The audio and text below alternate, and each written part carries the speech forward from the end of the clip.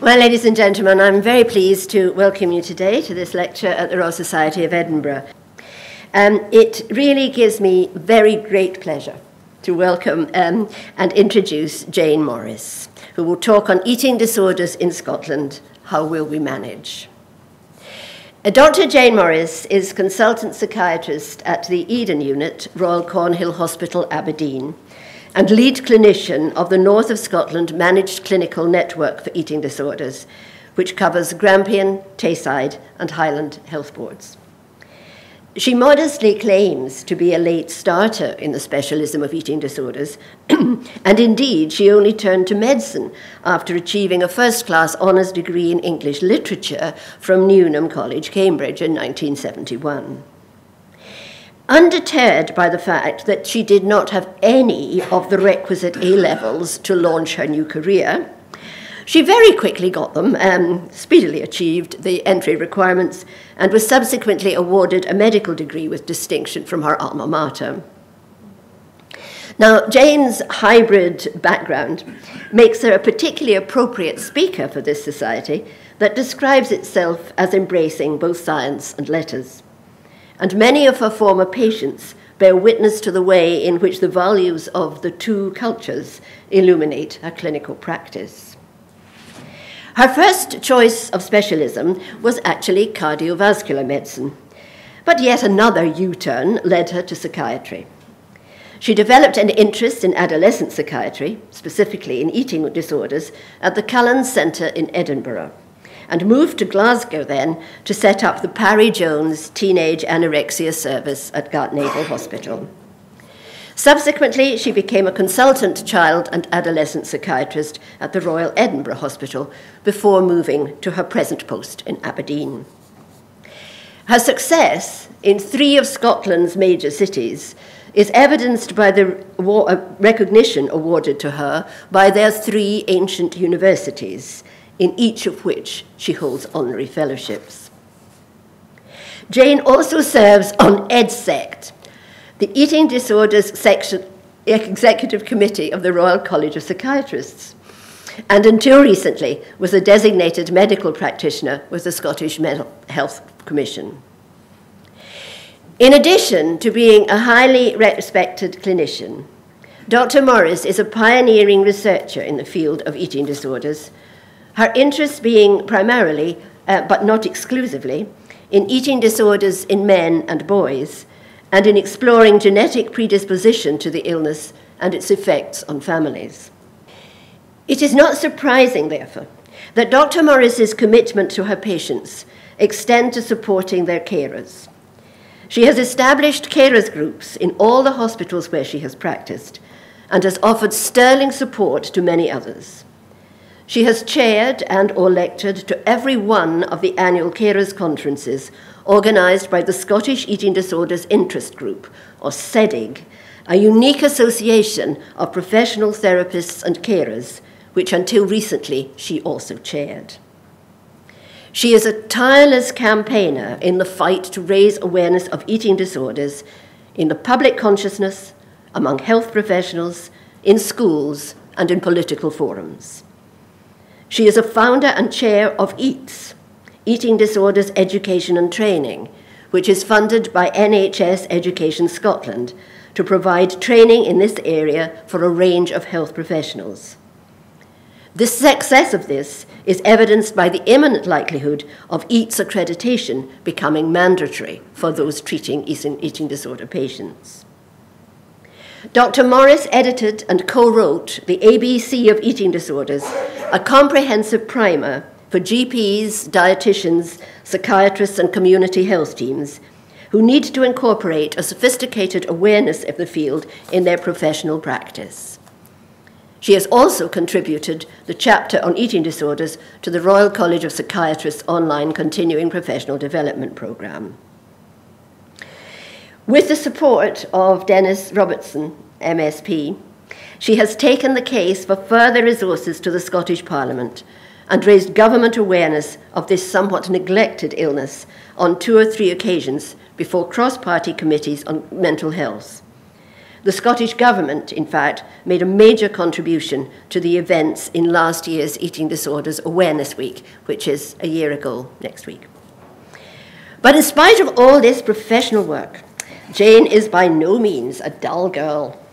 She enjoys, very much enjoys, her position as president of the Roll Committee of Newnham College, of which she is also an associate.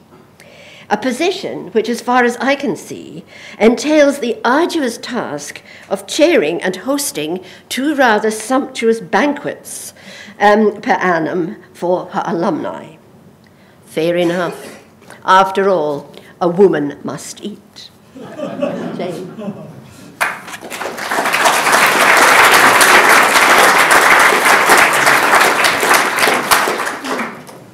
Thank you very much, Jan. Thank you for inviting me, and thank you, everybody, for coming here on a Tuesday evening.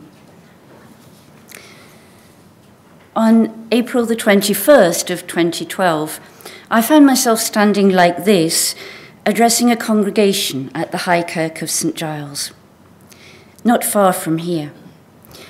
But that was a memorial service to honour people who had died from anorexia nervosa and I found myself torn between two opposing tasks. Of course, we wanted to bring comfort and reassurance to the bereaved. But at the same time, I wanted to fill everyone there with the same outrage and indignation that I was feeling and still feel now. I hate the illness for destroying lives. And I'm also frustrated by our failure to at least employ to the full those strategies that we do have to save lives and to save quality of life. I said on that day that services in Scotland have improved death by death, and I'm afraid that does seem to be the case. But it has taken more than tragic deaths to bring about that change. It has taken the heroic energy of the bereaved. The late Arthur Crisp said that calling anorexia nervosa an eating disorder is like calling lung cancer a cough disorder. This is such a good metaphor. Yes, anorexia is a killer. It killed Caroline. It killed Fraser. It killed Avril. The metaphor takes us further. If you call lung cancer a cough disorder, you're focusing on just one symptom and on, not necessarily on the most deadly one, Problems with eating are just one manifestation of anorexia nervosa. For most modern patients, this is based on their obsessive terror of body fat. It comes from their compulsive need to take extreme control of their body in response to anxiety, threat, or feelings of insecurity. The desperate avoidance of fatness and the drive to actually lose fat results in a whole host of symptoms and the list is growing all the time as our culture changes. You probably know that the word anorexia is Latin for loss of appetite, but that is a complete misnomer. The brain's appetite centers are actually working overtime to make the starving person think constantly about food. The sufferer fights back in all sorts of ways to deprive their body of nourishment in the midst of plenty. As a result, the brain experiences both war and famine. When brains experience trauma, they put out the same stress hormones, whether that trauma is war, famine, or abuse. The acute stress hormones are adrenaline and noradrenaline, but more chronically, the brain pumps out stress steroids. And the patient experiences hyperarousal, irritability, a sense of suspicion, hostility, and avoidance of other people. Now, one thing we probably all think when we hear that someone has lung cancer is that it was caused by smoking. We're wrong. Smoking does indeed cause many cough disorders, but only a few vulnerable smokers develop lung cancer. Plenty of people with lung cancer are non smokers who suffer from mere bad luck. And as if it isn't bad luck enough to have lung cancer, those people are often also embarrassed by their diagnosis and afraid that other people blame them for it. Well, in the same way, it seems to be generally believed that anorexia is the result of too many fashion magazines and silly diets. And certainly, such influences have increased the prevalence of anorexia in the world. But they're more important in the epidemic of other eating disorders, such as bulimia nervosa and binge eating disorders. Some unlucky people have suffered from anorexia throughout history. And Borders dietitian Perry Burgess tells us there's even an example in the Old Testament. St. Catherine of Siena saw her sister die in childbirth. She was then expected to marry the widower. Apparently, the late sister had often refused to eat if her husband was unkind. Catherine now used the same tactics. She refused food until she was allowed to become a nun.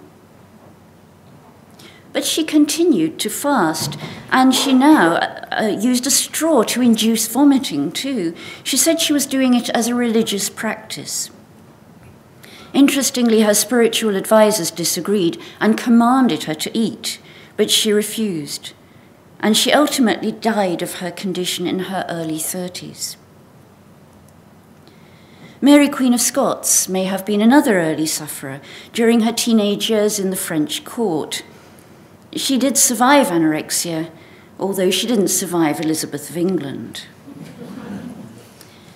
It was an Englishman, Richard Morton, who provided the first medical description of what we now call anorexia.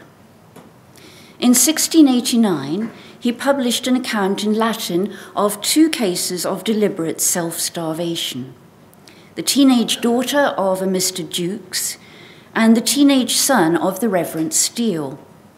Sadly, the girl died of her illness, but the boy was advised to give up his studies, leave town, and drink milk.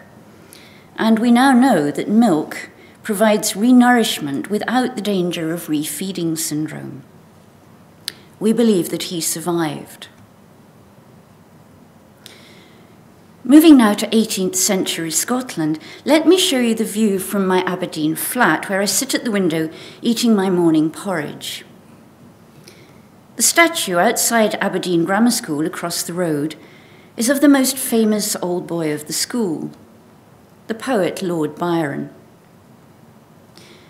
We hear that he was mad, bad, and dangerous to know, but we don't know how far his personality may have been damaged by the effects of his well documented obsession with losing weight.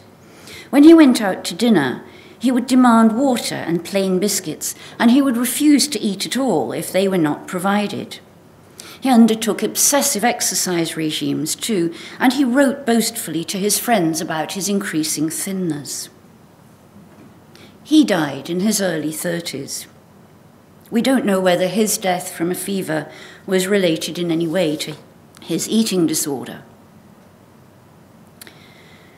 The physicians William Gull in England and Charles Lasègue in France described anorexia nervosa in the late 19th century, so that for the first part of the 20th century, eating disorders were recognized as medical conditions, but more as curios than as mainstream illnesses. And many sufferers have been diagnosed only in retrospect. The French philosopher and mystic Simone Weil almost certainly suffered from anorexia. Throughout the Second War, her fallback response of solidarity with suffering people was to eat even less than they were able to. And whilst many people adored her, Others commented that she was odd and humorless. These are common characteristics of starved, anxious brains. She died, as you see, in her early 30s. On this side of the channel, my grandparents' generation was at war. People were more focused on surviving on rationed food, keeping chickens in the backyard and digging their allotments, than on diagnosing anorexia in their children. At the age of 12, my father was sent away from his family into the countryside for the sake of his health and survival. There was more food than at home in the city, and he was released from the stresses of a very academic school. But as a lifelong vegetarian, he was unable to eat the plentiful meat. And for some reason, he didn't make up for that with the home baking and cheese and other dairy products that he loved. He began wasting away with a mysterious, unexplained illness until my grandmother brought him back to the bomb shelters of the city, where he recovered and flourished. However, he was still known for giving away his ration tickets to others. And some decades later, several members of his children's generation were recognized as suffering from what we now formally label as eating disorders. Not long after the war, in coronation year in 1953, an Aberdeen teenager was diagnosed as suffering from anorexia nervosa. She received treatment at three of the city's hospitals, both psychiatric and medical, and 60 years later, my colleague Linda Keenan found her medical records in a filing cabinet in the Managed Clinical Network office. The history of Miss C is clearly documented in handwritten notes and pink carbon copies of typed letters. I followed the story with bated breath, as if it was a sort of professional, who do you think you are? Miss C was the younger of two orphaned siblings. She was always sensitive. She had been traumatized by the sight of her dead mother's body. She and her sister went to live with their maternal aunt in a granite house in Ashley Road. And here it is on Street View. I was able to walk past it, and I could imagine the family driving to hospital in the uncle's, uncle's Rover 75 saloon car. I was fascinated to find that Miss C was treated with old fashioned versions of many of the treatments that we still use today. Perhaps the main difference is that these days we would try to understand what Miss C was thinking and feeling emotionally, rather than focusing only on trying to outwit her anorexic behaviors to make her gain weight. Another difference is that 60 years on, we have some specialist eating disorders services in Scotland. However, Miss C had become so physically ill that she had to be admitted to the Royal Infirmary. This is often the case for our patients today. Sadly, it was there that Miss C died, throwing herself out of a fourth floor window. Professor Miller wrote that no one imagined that she would have the strength even to get out of bed, and no one suspected that she was suicidal. It emerged that the Professor Miller concerned in this tragic case was the father of Dr. Harry Miller, Aberdeen's renowned first eating disorders consultant. Harry set up the first specialist eating disorders outpatient clinic in the north of the country. He campaigned tirelessly to bring about the North of Scotland managed clinical network, and he pioneered the use of telemedicine. He was also the force behind the Eden Unit, Scotland's first NHS eating disorders inpatient unit, which opened in May of 2009. Even earlier, the first specialist eating disorders service in Edinburgh was Chris Freeman's Cullen Centre. Until the 80s, patients with severe anorexia were admitted to general wards or to units with a psychodynamic ethos, where they were nursed alongside those with other diagnoses. The Cullen Centre, like the Aberdeen service, pioneered the use of the new cognitive behavioural therapy. These were remarkable times in the world of eating disorders. In 1979, Beck had published his textbook of cognitive behavioral therapy. And clinicians from the Cullen Centre went on pilgrimage to Philadelphia to train with him. In the same year, Professor Gerald Russell published his classic paper describing a case series of a new eating disorder. He called it bulimia nervosa, an ominous variant of anorexia nervosa. Serendipitously, it was found that the new therapy was an astonishingly good fit for the new disorder. And Professor Chris Fairburn went on to base his career on meticulously developing and researching the application of CBT to the eating disorders. Incidentally, whilst Russell has spent his heyday in London and Fairburn his in Oxford, Scotland may claim them too. Russell is an alumnus of George Watson's College, and Fairburn undertook medical training in both Edinburgh and St Andrews. The essence of the cognitive behavioural approach is encapsulated in this sort of diagram, sometimes known as the hot cross bun. It allows us to consider four important dimensions of our experience, all of which interact, as you see, in complicated circles and even tangles. These are our feelings, thoughts, behaviours, and physical states. For clinicians today, just like those nursing Miss C in 1953, the obvious problem is the anorexic behaviours which occur when we encourage the sufferer to eat. But our empathic nurses also feel and consider a patient's emotions too, the fear and the fury that are generated by the illness. And in one to one sessions outside mealtimes, our key nurses work to elicit the automatic thoughts and beliefs that drive those feelings. These are a mixture, on one hand, of anorexic obsessions and on the other, misinterpretations of bodily feelings. And we can trace some of these back to their physiological origins in terms of hypoglycemic symptoms and the consequences of stress hormones.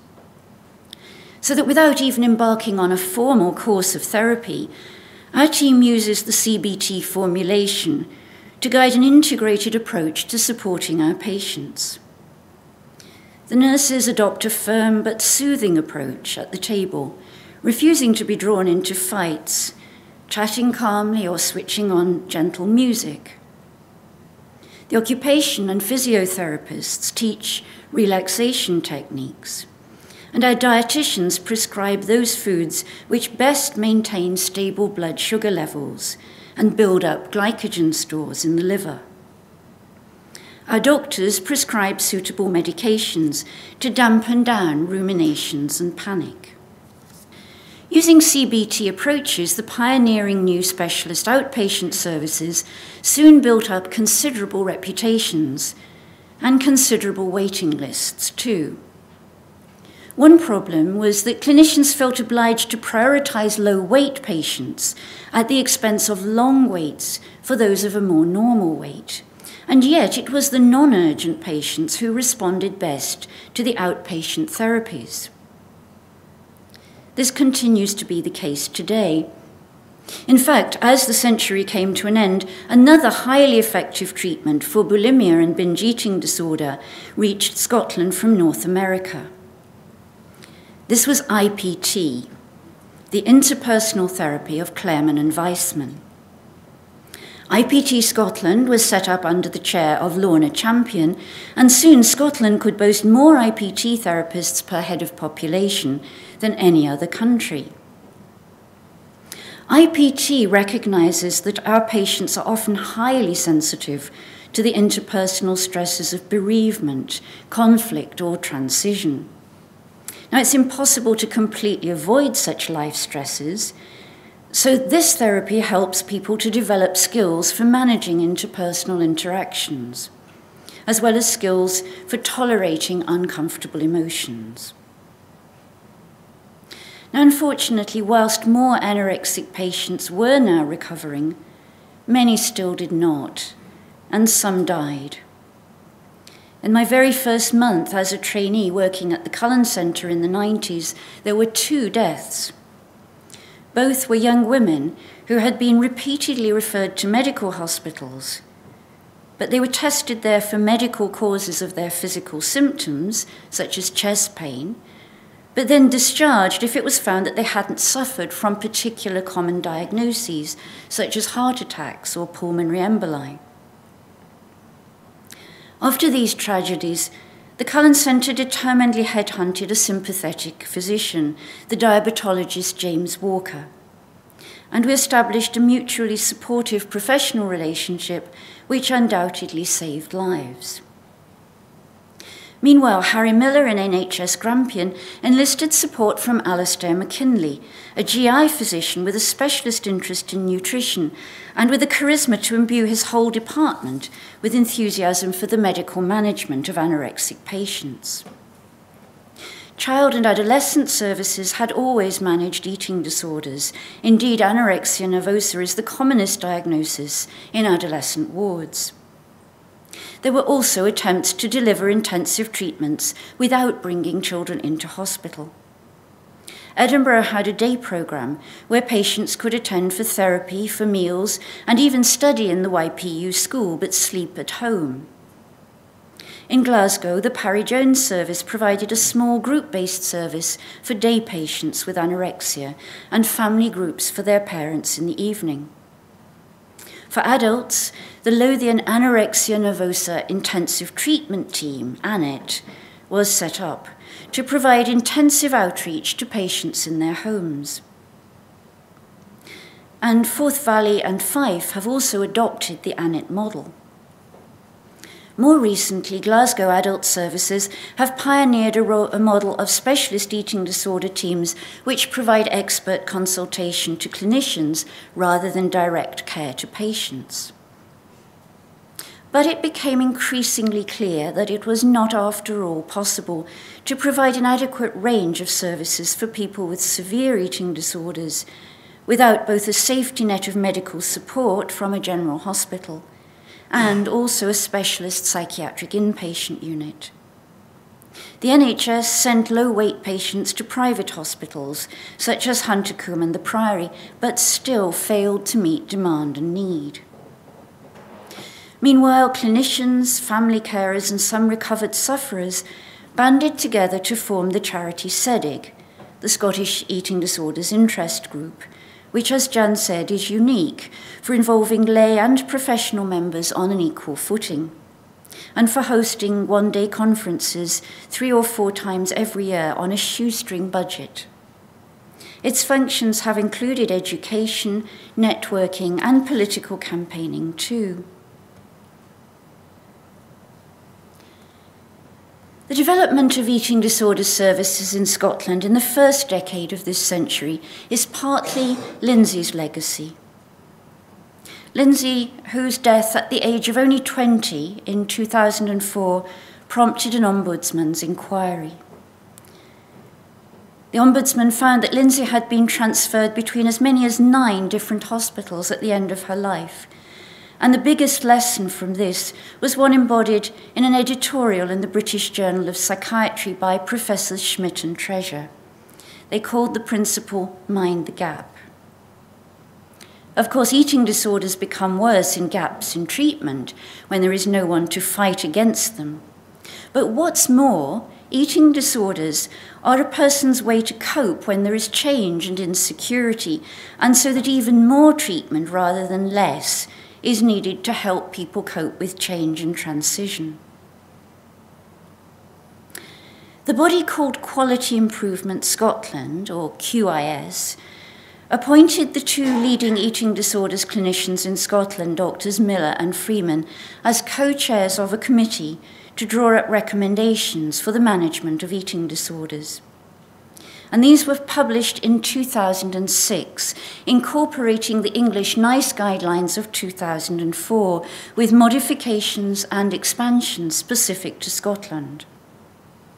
Chris Freeman then presented these recommendations at Harry Miller's new Aberdeen Eating Disorders Conference, which has since become a regular national event. The same group of clinicians then worked to set up a training curriculum and accreditation in eating disorders as a benchmark for competence in the specialty and as a way to maintain quality. This is EATS, which stands for Eating Disorders Education and Training Scotland. It is unique in the world and since its launch, dozens of clinicians in Scotland, across the gamut of involved professions and working across the whole age range, have been accredited or reaccredited. And ultimately, both Harry and Chris succeeded in setting up specialist NHS inpatient units in the north and southeast so that adults with eating disorders need not be sent too far away from home and could remain as far as possible within NHS specialist networks. But you'll be asking yourselves by now why have we been so slow to invest in the well-being and indeed the survival of some of the brightest and best of the young people of Scotland? After all, the care of people with a severe anorexia nervosa is hardly rocket science, is it? Well, the father of one of my patients was a rocket scientist, and he assured me that anorexia is the harder challenge. The NICE guideline is now 11 years old, QIS 9 years old, and whilst we're working hard to update them both, the new versions won't be published until 2017, and even then, there will only be a certain amount of new evidence to add to the recommended treatments. This is particularly true for anorexia. There has been only one treatment so far which meets stringent evidence criteria for anorexia. And that treatment is the family based treatment called FBT. It developed from work at the Maudsley Hospital in the 1990s and was then manualized and tested out by Professor James Lock in California and Danny le Grange in Chicago. I'm proud to say that Scotland has led Europe in embracing delivery of this treatment. Colleagues in Greater Glasgow and Clyde were the first to be trained, followed by Lothian, and then only last year we brought James Lock to the north of Scotland to train both child and adult clinicians. And as you see here, we dropped him off in the Scottish Parliament on the way so that MSPs could discuss his work. On the right of this picture, and a little way back in the audience, is Dr. Charlotte Oakley from Glasgow whose research has already demonstrated improved outcomes for FBT in comparison with previous treatments, and with greater cost effectiveness too. Hospital admissions are reduced or, in some cases, not needed at all with this treatment. In the North, we're putting together a case series showing how the model can be effectively adapted for adult patients too, provided that they live at least temporarily with a parent, partner, or other carer. FBT involves the patient and family meeting together for an hour at a time on a regular basis with a therapist. Initially, they're encouraged to get in touch with their realistic fears about the illness rather than avoiding confrontation for the sake of a quiet life. They're encouraged to see anorexia as a separate phenomenon from the personality of the patient. It's a cruel illness, not a piece of naughtiness, not a lifestyle choice, and it can be deadly. The therapist then teaches the family skills very similar to those used by nurses on an inpatient unit to support the patient to eat healthily, to resist purging and over-exercising, and to tolerate weight restoration. The family even brings a picnic into the therapist's office so that they can be coached in a hands on way. It's a sort of masterclass on how to refeed someone with anorexia. But we must acknowledge that the excellent evidence base for FBT so far only applies to teenagers, particularly those with a short duration of illness. For adults with anorexia, there is very little hard evidence to guide us. Therapies such as CBT, DBT, and IPT have been developed to address anorexia as well as bulimia, but even their leading proponents acknowledge that they're less effective the lower the patient's weight. And as a clinician caring for adults with very low body weight and with disabling anorexic obsessions, this worries me. So I'll focus now on some of the newer, most promising approaches to very severe anorexia. Some involve direct treatments, but some involve measuring and monitoring, and we mustn't forget preventative approaches too. One approach is such a simple matter that we all wonder why it hasn't been used before, or at least we wonder that until we try it. Chris Freeman talked throughout his career about the need of some sort of register of anorexia. Harry Millar, ahead of his time, set up an electronic patient record at the Grampian Eating Disorders Service, but we still have no overview of anorexia across the country as a whole. We have to rely on incidence and prevalence rates from other countries, and we have only poor measures of what works and what doesn't. Numbers of patients in each specialist service are relatively small, so we need to access data from across the whole country to get statistically meaningful assessments. We need to know the scale of the problem so that we can plan adequate services. Full recoveries can take years or even decades. So we need to track outcomes over long periods of time. And obviously, we must examine how anorexia causes or contributes to the deaths of sufferers.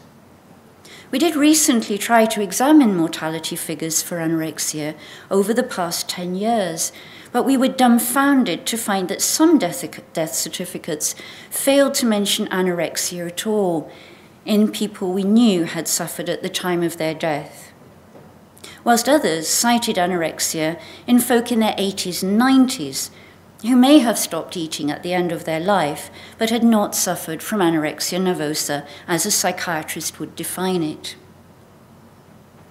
A national record would allow us to conduct prospective studies we could follow up all those diagnosed with the condition to see how they fare through life and what the impact would be of the different treatments we could offer.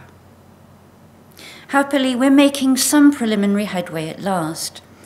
Dr. Kirsty Licence, with Steve Kendrick and colleagues at the excellent Information Services Division of the NHS Scotland, are working with us to set up an anorexia nervosa linked electronic database.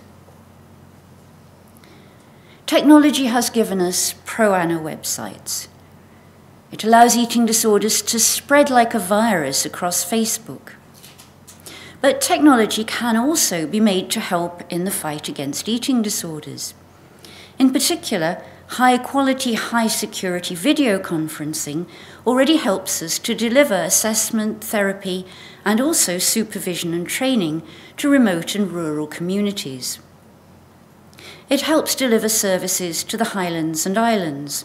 And for frail anorexic patients, it can save risky long distance travel to winter appointments. Obviously, anorexia is physically dangerous.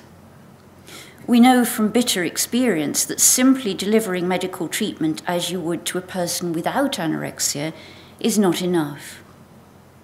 Anorexic fears oblige people to sabotage treatments that may bring about weight gain. And as we saw, this was what killed Miss C in 1953. She was not suicidal, but she was prepared to die rather than to gain weight. The Royal College of Psychiatrists has developed guidelines called MARSIPAN and Junior MARSIPAN. MARSIPAN is an attractive acronym standing for the management of really seriously ill patients with anorexia nervosa. And it reminds mental health professionals of the medical risks and reminds physicians of the behavioral risks of the illness. It charts ways to stabilize and renourish those who are in extremis without causing deaths from refeeding syndrome. And it's not just a tick box. It's actually a good way to insist that our health board's budget to provide the specific nursing and medical interventions. And perhaps above all, it helps us to mind that gap, the gap between physical and mental health services on this occasion. But generally, physical recovery alone doesn't guarantee psychological recovery. My patients worry that all I care about is feeding them up so that they don't look emaciated anymore, and at that point I stop caring.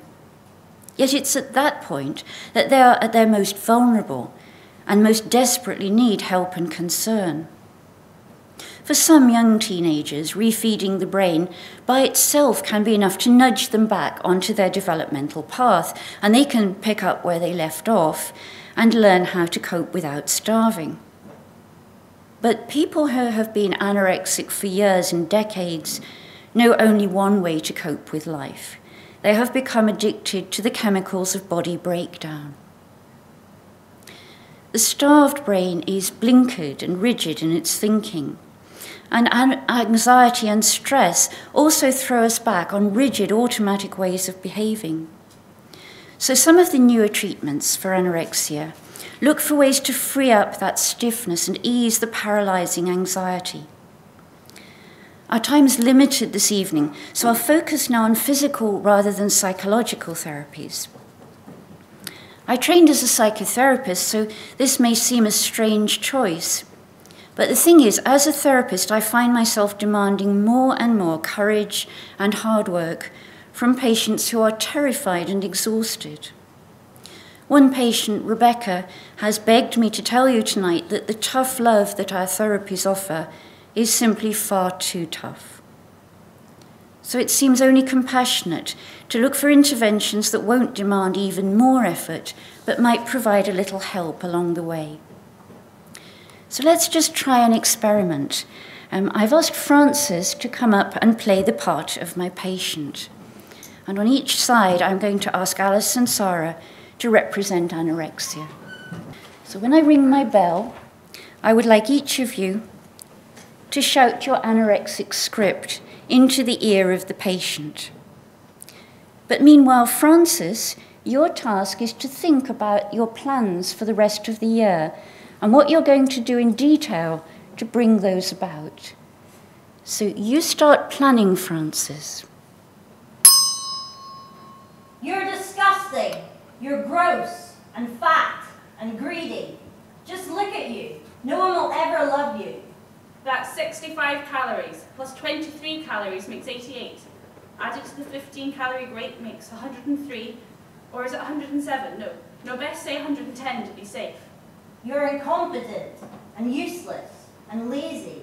No one will ever employ you. You don't deserve to even enjoy life. How many star jumps do you need to do before bed tonight to get rid of those 110 calories? Just look at you.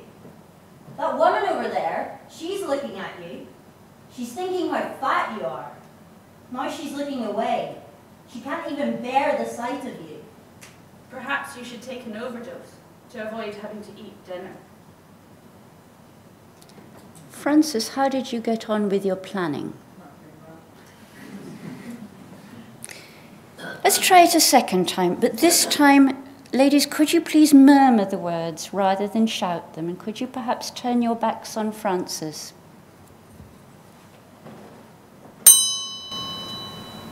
You're disgusting. You're gross and fat and greedy. Just look at you. No one will ever love you. That's 65 calories. Plus 23 calories makes 88.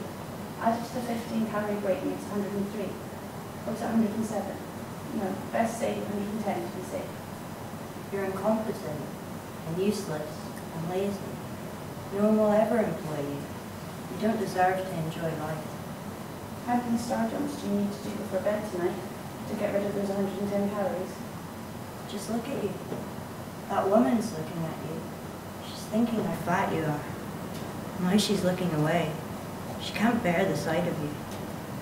Perhaps you should take an overdose to avoid having to eat dinner. Frances, was it any easier that time? Well, thank you very much indeed, and I should perhaps just reassure people that we are going to take Frances out to dinner and give her therapy. thank you very much.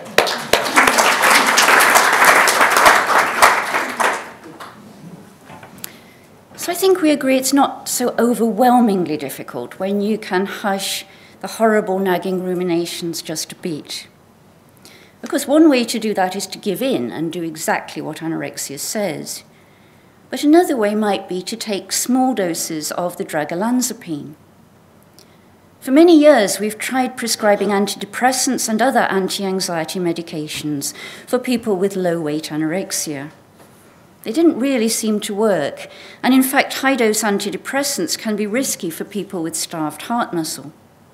Meanwhile, the benzodiazepines are not only habit forming, but they can prevent the laying down of memories, and we need to lay down memories in order to learn. But olanzapine seems to be remarkably safe, even for young low weight children. It has been used widely in higher doses in the treatment of psychotic disorders, but for anorexia we use much smaller doses. The aim is not to cause weight gain, we need food for that. Nor are we trying to sedate people. The sedative effect wears off when the brain has adjusted. We prescribe olanzapine for a specific effect on the brain's dopaminergic pathways. These are the brain areas that mediate our sense of fulfillment and empowerment. And it's no coincidence that these are the pathways affected by cocaine. Some Dutch eating disorders colleagues have worked with Aberdeen's Rowett Institute to create an animal model of anorexia. You can't give rats body image concerns, but certain genetic strains of rodent can be trained to lose weight compulsively by over-exercising. This is how it works. The animal is only fed when it's done a certain amount of exercise on its wheel.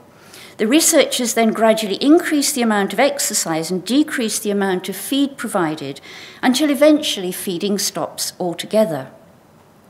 This is where the healthy rat would go on strike. But the genetically vulnerable animal actually goes on exercising even more. And spookily, if the experimenter does now offer some feed, the animal rejects it and prefers to run itself to death. So, how do they save the rat? One way is to physically restrain the animal and tube feed it. Or they have found you can make surgical lesions in the dopaminergic pathways of the brain. Or more elegantly and reversibly, you can prescribe small doses of olanzapine. And this is especially interesting because we're seeing more and more of the compulsive exercise type of anorexia, particularly in male patients. In the past, anorexia with compulsive exercise had a bad outlook. But now that we're working with physiotherapists and prescribing olanzapine, we're trying to improve that prognosis. And we know that prescribing olanzapine has psychological benefits too.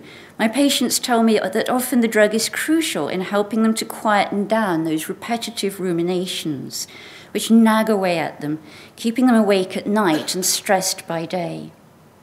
It clears their head, allowing them to be the person they were meant to be rather than the tortured slave of starvation.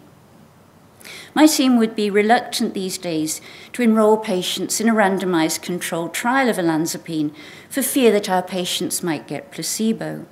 But luckily, there are studies, including the first randomized control um, of olanzapine versus placebo, published in the American Journal of Psychiatry by Bissada in 2008. Another substance that's attracted a lot of attention is the hormone oxytocin, and I expect you've heard of it. It's become the modern equivalent of the encounter groups and rebirthing experiences of the hippie era. It's one of those things you can sniff and snort, and the theory is that the nose has a hotline to the brain, so that you're filled with the equivalent of a new mother's love for her baby or the afterglow of orgasm. In fact, we can stimulate a bit of oxytocin letdown in you right now by showing this picture. There's a growing body of literature that suggests that inhaled oxytocin helps in a number of conditions. Above all, it was found helpful in autistic spectrum disorders, where people suffer from high anxiety levels, rigid thinking, and difficulties with emotional and interpersonal skills. Professor um, Chris Gillberg of the University of Glasgow has suggested there's considerable overlap between autistic and anorexic symptoms.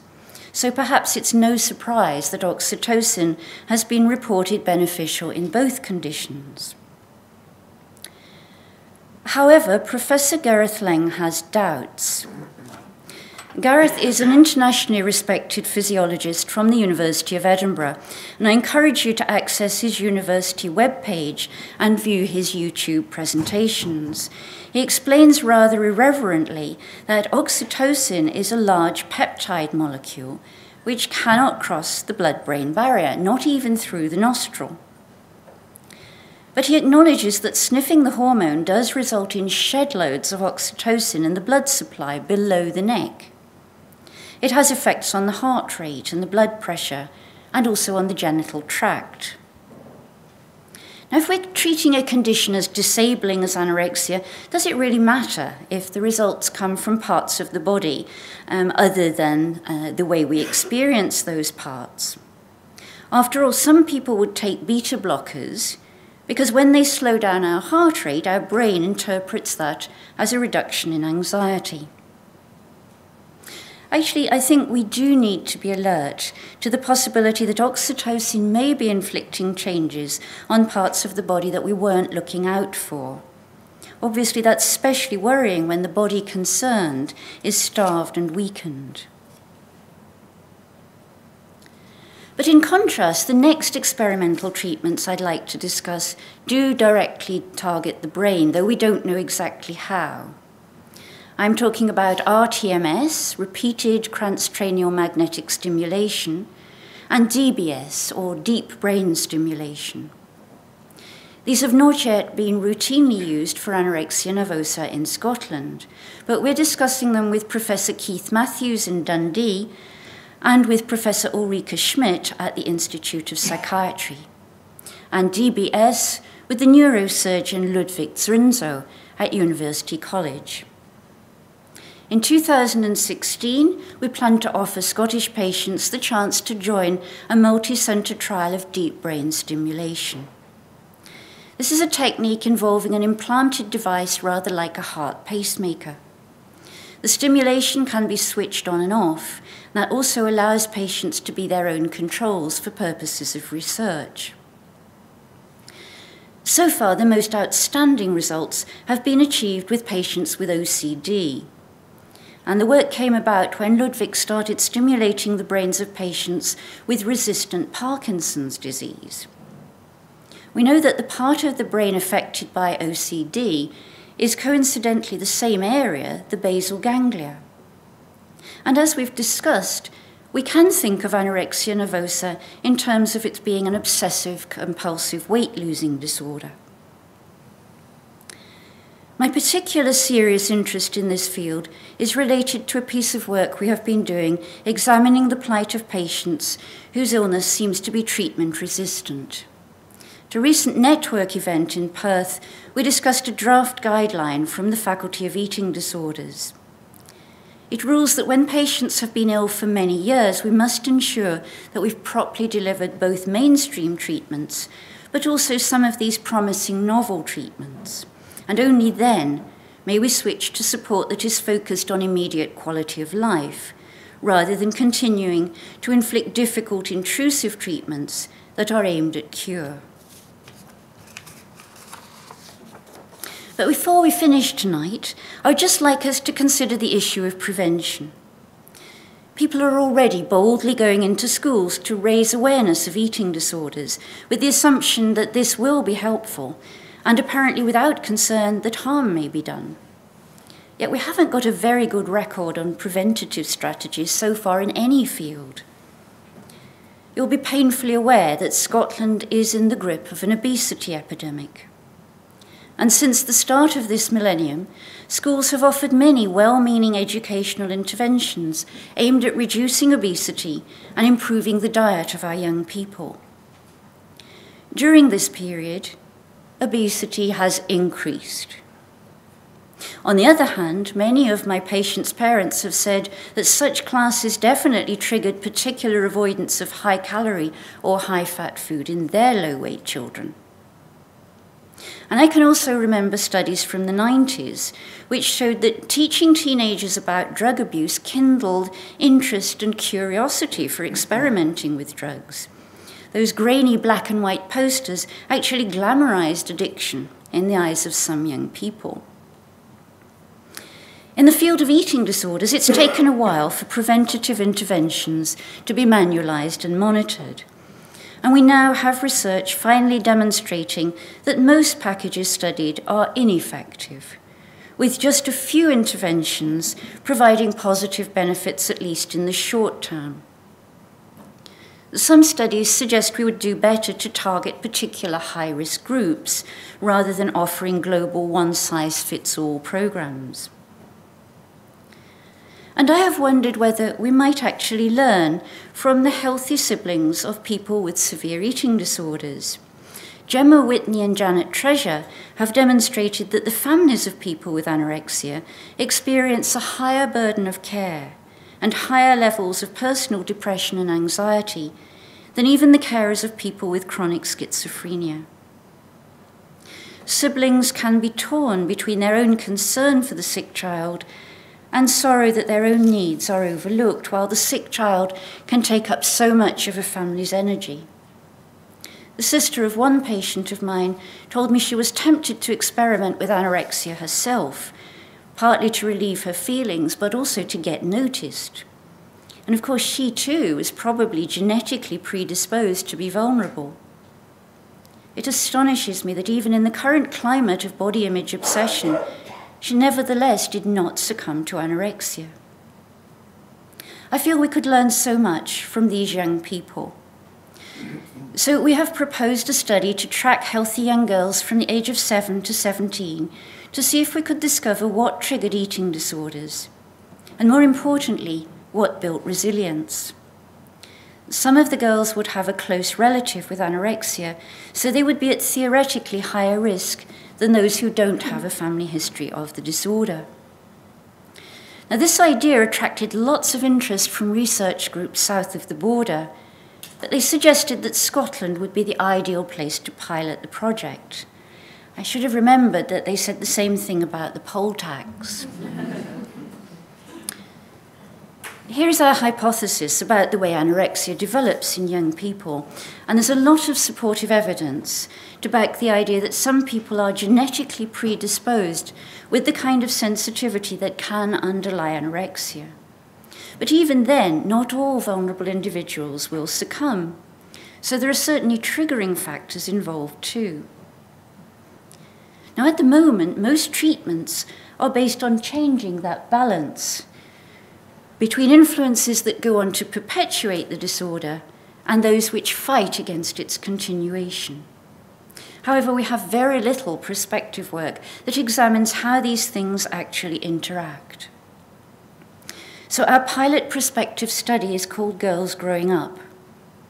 It involves identifying hypothetical risk factors and antecedents in young girls who are still healthy, and then tracking them year by year to see either what makes the risk factors turn into full blown disorder, or on the other hand, what helps the girl to stay healthy. Now, the conventional way to measure psychosocial risk factors is to carefully interview people or ask them to fill in various validated questionnaires. We do this, but it has its limits and it can get tedious. It would be far more useful if we could develop some simple, reliable screening test, rather like screening tests or smears or blood tests, that can pick up markers before any damage is done. Well, we considered brain scans. But even in the future, when there's such cheap technology that perhaps we can all do brain scan selfies, these will still be incredibly complex to interpret. And in 7 to 17 year olds, there'll be a growing and developing brain, so a moving target. And we often won't know whether we're looking at mere immaturity of function or a lasting uh, abnormality. So we're not scanning our girls. We will plot growth charts of height and weight across the age range, which might show us how starvation develops, but it's more likely to show consequences rather than antecedents. Genetic samples, again, might be able to help us understand whether or not a child has inherited a gene variant that might increase her likelihood of developing anorexia. But research shows us that we're not looking at a single gene here but for variable and subtle combinations of both genetic and epigenetic factors. We will be requesting mouth smears if our girls want to contribute to the genetic studies that are already going on. But our team is searching for a smarter marker such a marker will ideally tell us whether a child is at high enough risk to make it worthwhile to train their family in anti anorexic tactics before the disorder takes hold. This might include regular growth monitoring, treating any emerging OCD symptoms, improving assertiveness and emotional regulation, and of course, getting on top of any early signs of starvation before they become deep rooted. We also suspect that people who are at high genetic risk for anorexia may need different kinds of preventative strategy from people who are not at genetically high risk. Perhaps these people succumb to eating disorders by different pathological pathways. So while we were looking for our possible smart marker, we came across the work of Professor David St Clair and Dr. Phil Benson from Aberdeen. They have analysed the eye movements of patients with severe mental illness, and they collaborated with us to analyse the eye movements of a small series of my inpatients. The youngest member of the Girls Growing Up team is psychologist Leanne C., who wrote her thesis on eye movement patterns in people with anorexia. Leanne has found that, as you might expect, these patients tend to look at both food related and body image related material in preference to other parts of pictures. But what might surprise you more is that the actual style of looking is different too. For instance, Leanne tells us that patients tend to focus on fine details in pictures and to look over these repetitively rather than to scan broadly around the picture frame. They also move their eyes more slowly than normal. And then, when asked to follow moving dots, they then have to use catch up eye movements. We don't yet know whether these differences are present before the people develop a disorder or whether they are consequences. And in fact, we still have to discover whether eye movements are a signature characteristic throughout life, like fingerprints, or whether they change and develop as the brain grows and changes, like height or body shape, for instance. It's very difficult for us as clinicians to negotiate today's research bureaucracy. But we've met from, with great kindness and generosity from colleagues, from trainees, and above all from Professor Helen Minnis of Glasgow University's Department of Child Psychiatry. At present, we're recruiting from the Greater Glasgow and Clyde area only. But once the pilot is complete, we'll be seeking to involve centres across Scotland and probably beyond. We're launching our website next month, so please do look out for it. And whether or not you live near Glasgow, if your family and friends are interested in being contacted in the future, please do send your contact details, leave them or else email us. At this stage in my career, I'm fortunate enough now to hear from people who have finally recovered, often after many years of struggle against anorexia. Despite their former resistance, they express surprising gratitude towards all those who helped them towards their recovery, and they all contribute remarkably to our society. I'm still frustrated and sad that we don't help more sufferers, and that some still can't be saved. But new research brings new hope. And whilst we work towards ever more powerful treatments, we have to fall back on that old but powerful treatment, tough love. The hardest challenge is how to hold on to a healthy balance that is both tough enough and loving enough. So I'd like to thank all those who work with me, advise me, criticize me, and care for me to find that balance. Many, many thanks to our patients and their families for the trust that they put in our teams and networks. And thank you all for joining me this evening.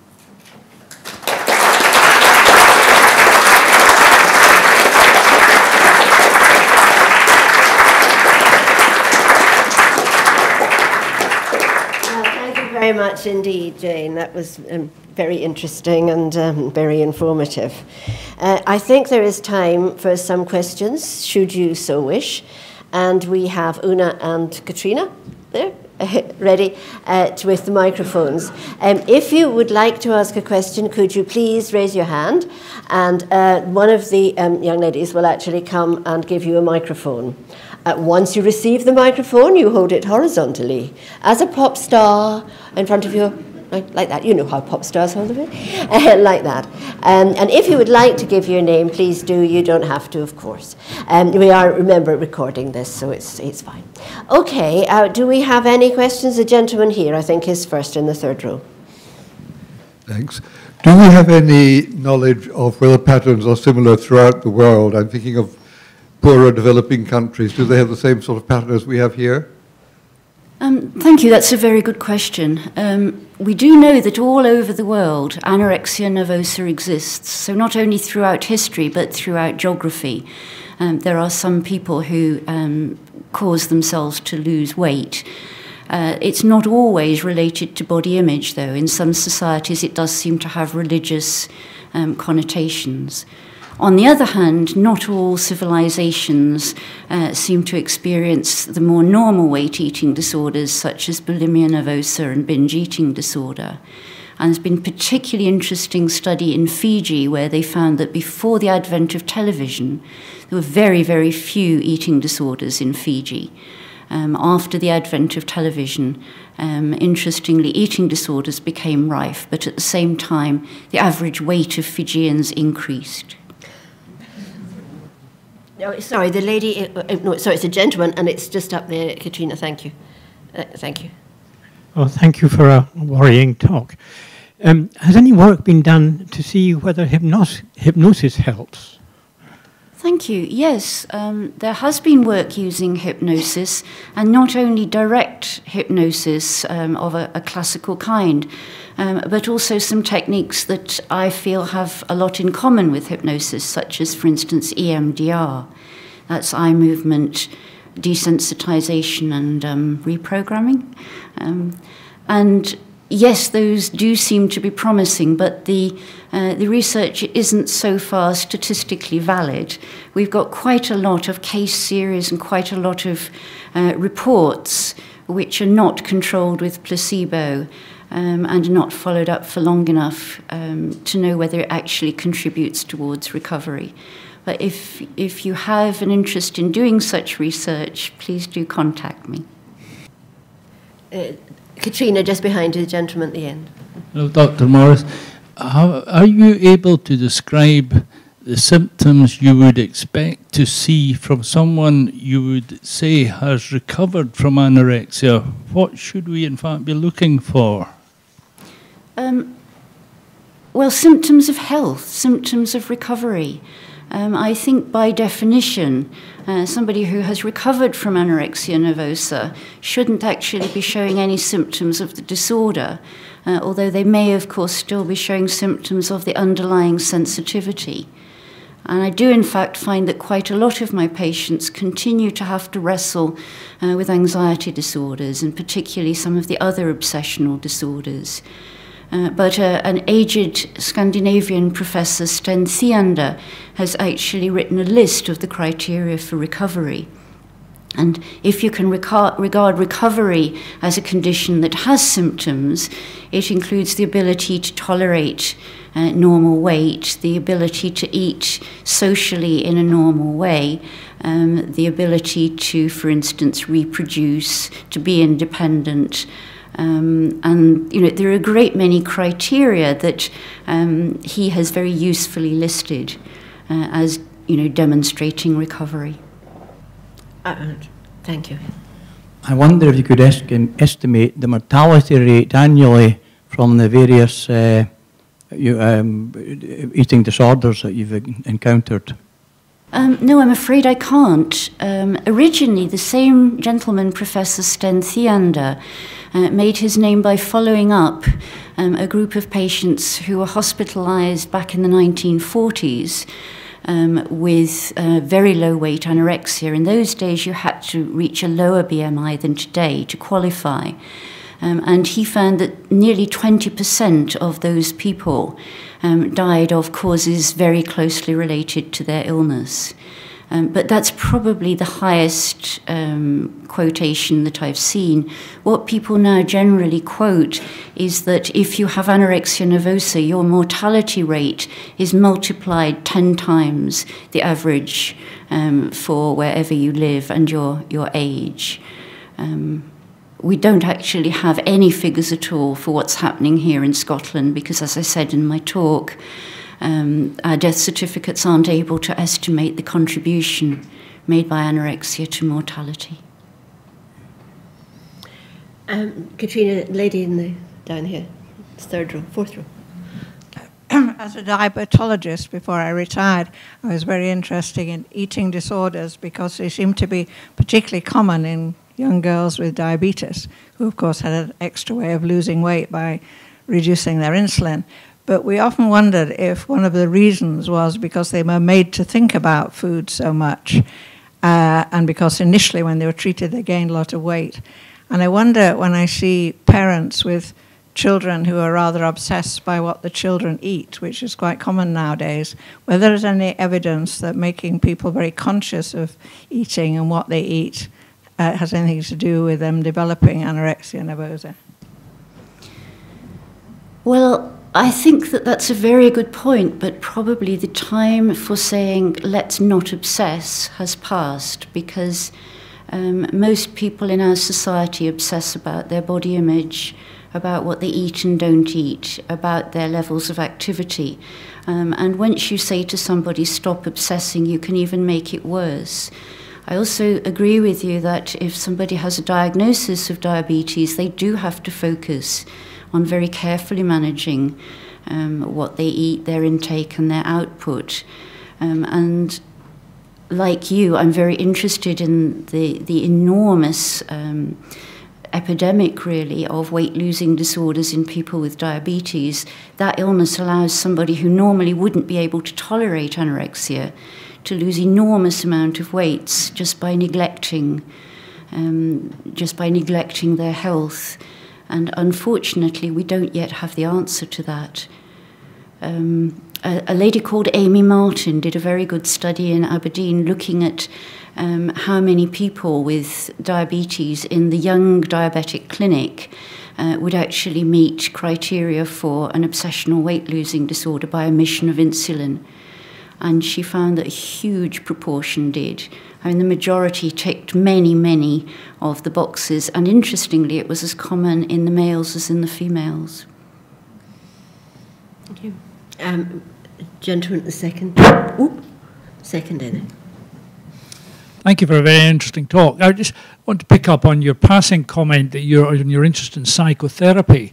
Uh, and the latter part of your talk perhaps was focusing more on the, the kind of chemical, organic treatments and changes taking place.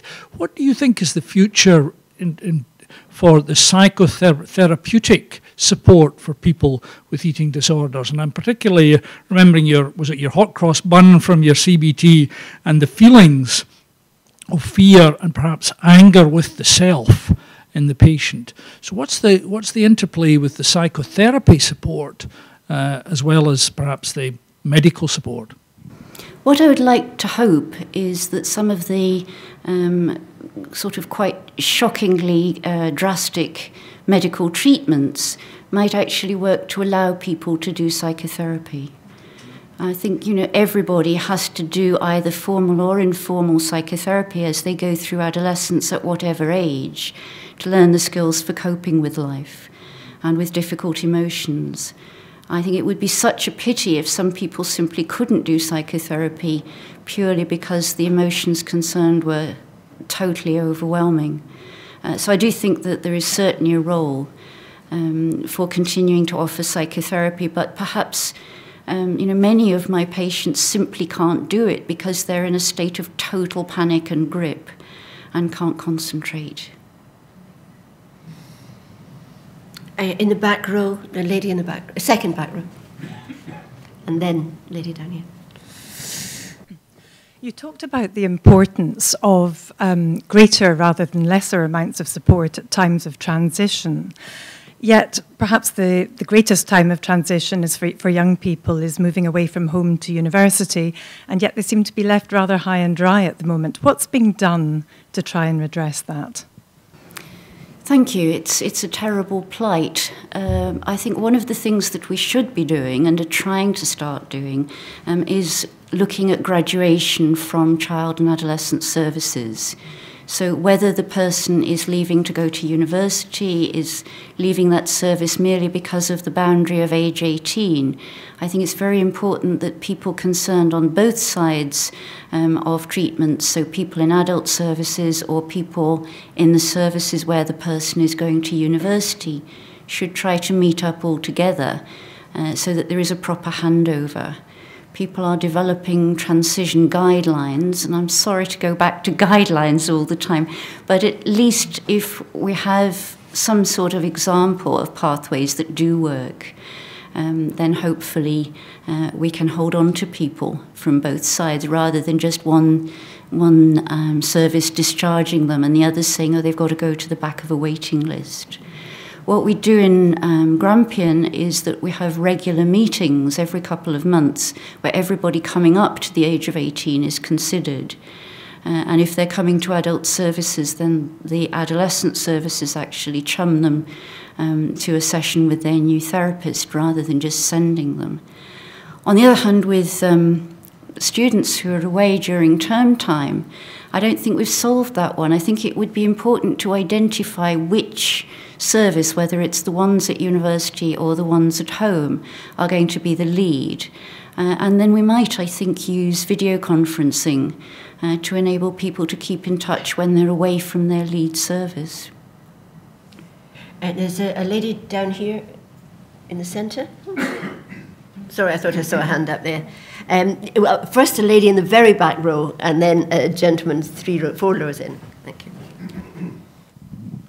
I'm interested to ask the question, given the increased prevalence of this condition, um, how do you think the eating disorder community is going to cope with the expectation of NHS treatment being deliverable at 18 weeks within the psychiatric setting like it is with other medical conditions? How is that going to be resourced? I think probably that's a question for politicians rather than for me. Um, one of the things I've noticed is that already a lot of my colleagues bust a gut in the NHS um, and offer far, far more than they're actually resourced to offer out of passion and goodwill. Um, and also because if you see an illness taking somebody hostage, um, you go over and above. It's not just because of 18 week targets, it's because you can't bear to see somebody suffer. Perspective, um, but I'm just fearful is there a risk that people will be discharged from care to allow that 18 week cycle to be maintained. You know, there, there's only so many people who are trained in these areas of expertise. You know, how are you going to ship people in, even if the politicians actually give you additional funding? Well, I think that goes beyond eating disorders, but yes, we're often under a great deal of pressure to discharge people who are no longer in extremis so that people can come in and take up the bed. And I have to work very hard to say we have to finish jobs, that we um, we have a, a huge responsibility um, to helping people through the next transition um, from one service back to outpatient services or from outpatient services back to their GPs, rather than just let go of people because there's somebody even more ill than they are. Uh, Una, this gentleman here. No, thank you. Thank you. Would we say that occupational compulsive disorder is a regular precursor of anorexia? and if so, if you think that is a possibility, could more be done by treating the OCD before it perhaps develops into full-blown anorexia? Or do you think there's no correlation? Oh, I think there is definitely a correlation, and there's um, a lot of very good work um, showing that there are possibly two different strains, as it were, of anorexia. Um, one where the person is very likely to suffer from a whole range of obsessive conditions, and the other which is less closely linked to OCD itself. Um, and perhaps has more to do with the bulimic disorders and the, uh, the depressive disorders rather than the very obsessive disorders. Um, so, personally, I think that there might well be a great deal to be done uh, by making sure anyone that shows obsessive signs is looked after to make sure that the obsession doesn't take root and cause them to lose weight. Because on top of having an obsessive predisposition, if you once starve the brain, it's very likely that any obsessive tendency gets worse. Thank you. Thank you very much for the questions, and thank you very much, Dr. Morris, um, for your talk. Um, I'll go In fact, there are quite a few people to be thanked, not only Katrina and Una, who've been wielding the microphones, our performers, um, Sarah, Alice, and Francis, thank you so much. And then, of course, finally, and indeed most importantly, to Dr. Morris. the celebrated actor Ellen Terry declared that the prerequisites of a successful career on stage were intelligence, imagination, and industry. Uh, that's as may be, but these qualities are evident in Dr. Morris's career and in her performance this evening, and they certainly show that they make a successful psychiatrist and a consummate lecturer. Her explication of the history, the potentially tragic effects, and the current advances in the treatment of the illness has demonstrated her intellectual clinical excellence, her deep sympathy with the victims, and her indefatigable battle against it. We are told these days a great deal in universities about the impact factor. I think that there is a, an embodiment of the impact factor um, before us. Um, the subtitle of her talk was How we, Will We Manage? I think Dr. Morris will play a key role in how we do manage eating disorders in the future. So, on your behalf, I would like to thank her very, very much indeed um, for her talk this evening.